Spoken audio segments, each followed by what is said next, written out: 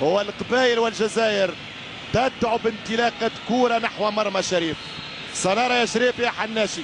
تمشي كرة خطيرة والتسديد لم تمر. ترجع الثانية والتعادل.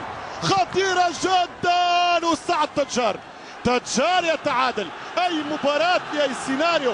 أي لقاء لأي روعة. أي إثارة لأي كرة ريت ما ندخلش الحسابات والمواجهات في كرتنا العربية تخرج نصف ساعة على العال عشرة على عشرة عشرة على عشرة المباراة.